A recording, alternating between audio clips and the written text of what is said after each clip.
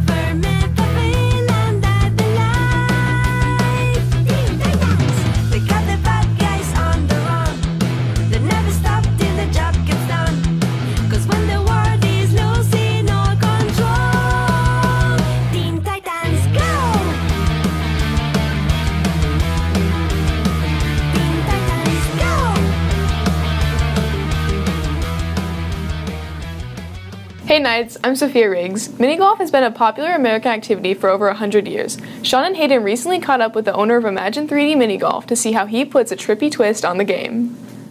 Imagine 3D Mini Golf is a glow in the dark mini golf course that puts a trippy twist on the game. Sean and I talked with the owner to learn more. The ideas for our course came from our son's imagination. That's how we came up with the name Imagine. And uh, my wife uh, mentioned to the artist to kind of base all the themes off a child's imagination. So uh, there's multiple themes throughout. After every four or five holes, you get transported into like a different world. So we wanted to break up the monotony for guests, but we wanted to make it all, you know, based off our child's imagination. The artist basically put our vision on the walls. So what makes the experience different here at Imagine 3D Mini Golf are our 3D glasses. Uh, we actually hired these two mural artists from the East Coast that hand painted all the art murals that you see. Uh, so customers do get the 3D glasses and that kind of amplifies the art off the wall, off the floor, kind of throws off the depth perception so it looks like the fish are kind of floating behind me or the golf balls are floating. So it adds a unique twist to glow golf, which again explains how 3D mini golf works. Unfortunately, our cameras weren't able to pick up the amazing 3D aspect of the course, so if you want the full immersive experience, you'll have to visit for yourself. Definitely a really fun place to uh, go with friends, family, or just by yourself. Um, my past experiences here have been really fun. Um, I've only been here once before, but I really enjoyed it, so I obviously came back uh, for those reasons. And if you haven't come here before, I would definitely check it out. We're a small family business. Um, you know, we're, we're doing our best to kind of uh, offer a, a fun, safe environment for everyone, for all ages. If you're looking for a way to escape the heat and have a mind-bending experience this summer, give Imagine 3D Mini Golf a try. What's up, Knights? I'm Chriselle Concho. National Honor Society, run by Miss Lewandowski and Miss Frima, recently inducted new members for next year. An Instagram account has been created to post the current events of NHS. If you're interested in joining, follow the Instagram at Higley High NHS to keep updated. It's the Spirit Week before Evermore here in the Kingdom. The Knights looked great all dressing up. Monday was College Day, Tuesday was Greek Life, Wednesday was Vine Day, Thursday was Throwback Day, and today is Dress with Your Date. You Knights sure do look good together. This week, boys and girls track competed at Perry High School. Great job, Knights. Maroni Montoya, a senior here at Higley, has developed a passion for the mystery of magic. Caden and Connor sat down with Maroni to find out what drives his love for the sleight of hand. Maroni is a senior here on campus who has a mystical hobby of doing magic tricks. He had a bit to tell us about his interesting pastime. I started doing magic when I went into freshman year of high school. So after eighth grade. Favorite magic trick is a trick called the clock. And it's just a trick that I don't even know how it works, but it happens. So it's kind of cool to be surprised by the same trick that you're doing because you don't know how it actually works. Inspiration is a big part of any hobby, so he told us a bit about what inspires him. I remember watching videos on YouTube of people going on the streets and doing tricks to random people. And so I was like, oh, that's that's a good thing to like get to know new people because I was new to high school, and I was like, I should do that too. Uh, one magician that inspired me was definitely David Blaine because he was the guy, I think he was the first magician that I saw going on the streets and doing card magic to people, and uh, he would ask some girls for their numbers, but that's another point. Uh, but yeah, it was pretty cool to see him, and then I just started watching more of his tricks, and he's a cool guy.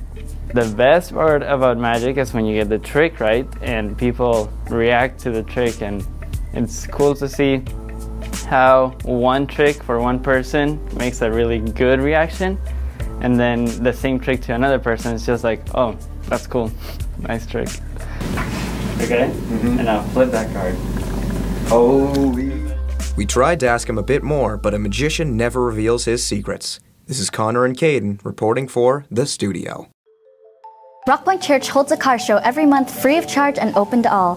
The event is full of historic cars and warm, welcoming people, making it a great attraction for those with a passion for motors. Vanessa and I spoke with Higley Jr. Annika Tornell to learn more.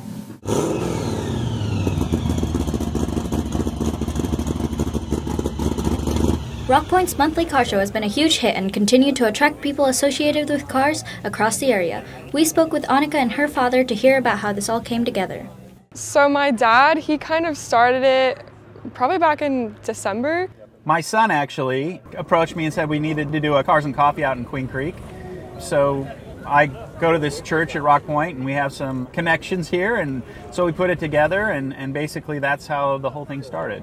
Although going into unfamiliar territory, the first event went better than expected. So our first experience when we sat down and planned this thing out, we were kind of hoping we'd get like 10 cars. And on our first event in January, we had over 100 cars. So that kind of blew away our expectations. My first experience, my dad was like, wow, there was like 100 cars here. And then I came to the next one and I was like, oh my gosh, this is so fun. Whether one has a car to showcase or just wants to look at other beautiful vehicles, this is a great opportunity to meet others with a common interest. I would encourage people to come here because, for one, we have a coffee shop, so you can get drinks from that and they're actually pretty cheap. I think they're giving out gift cards today too to new people. And then also, you can just look at sick cars. We have old cars, new cars, exotic cars. Doesn't matter what kind of car you have, everybody loves cars. It's cool.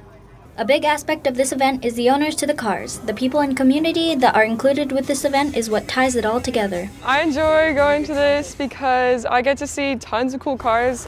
And then just the car community in general, um, it's just really fun to see everyone come together and just talk to everyone about their like builds and everything. It's super cool. We have people from all over the valley, and we get sometimes up to 200 cars will show up and around three, 400 people. So it kind of does bring the community together, whether you own a car or if you just like cars, you know, come on out and hang out. Make sure you check out Cars and Coffee at Rock Point Church or check out their Instagram for more information. This has been Christelle and Vanessa. Peace out. Let's go. You know it's baby new. huh? Oh Lord, Jesse made another one. Huh? She wanna me, but I don't got the mm. time. Just hopped off a private plane and went and hopped on 85. Uh. Go cut my chauffeur, cause I don't like to drive. Me and Last Friday, Student Council hosted a dodgeball tournament during all lunches. It was a ton of fun, and no one was hurt in the process. Thank you for everyone who came out and participated.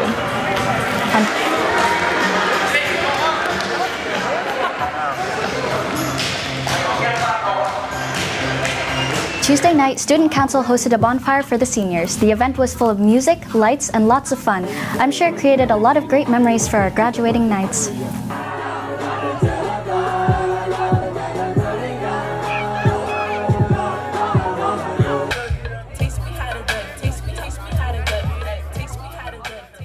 Finals got you stressed? No need to worry. EVIT cosmetology student Samantha Lynn has started her own aesthetic service that's sure to give you some peace of mind and glowy summer skin. Haley and I have the story.